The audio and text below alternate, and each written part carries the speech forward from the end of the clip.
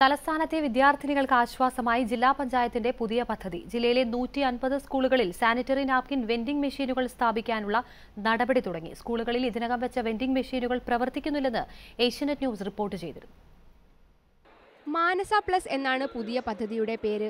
സർക്കാർ എയ്ഡഡ് മേഖലയിലെ തെരഞ്ഞെടുത്ത സ്കൂളുകളിലാണ് ആദ്യഘട്ടം നടപ്പാക്കുന്നത്. സെൻട്രൽ സ്റ്റേഡിയത്തിൽ വിദ്യാഭ്യാസ മന്ത്രി പ്രൊഫസർ സി രവീന്ദ്രനാഥ് പദ്ധതി ഉദ്ഘാടനം ചെയ്തു. എട്ട് പുതിയ പദ്ധതികൾ ജില്ലാ പഞ്ചായത്ത് ആവിഷ്കരിച്ച് നടപ്പിലാക്കുകയാണ്.